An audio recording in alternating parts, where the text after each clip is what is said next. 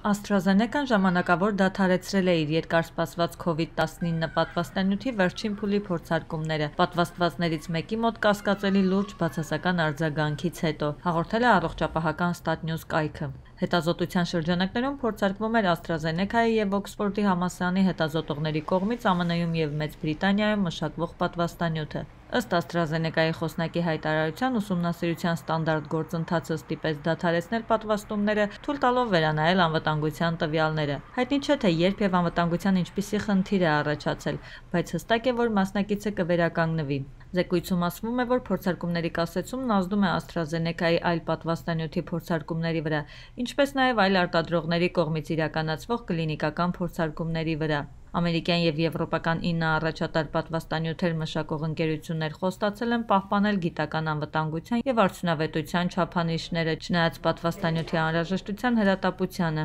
Մտավախություններ կային, որ անվտանգության ստանդարտները կարող են անտեսվել պատվաստանյութն արագ թողարկելու քաղաքական ճնշման ֆոնին։ Ընկերությունները նշել են, որ նրանք կպահպանեն գիտական գործընթացի ամբողջականությունը։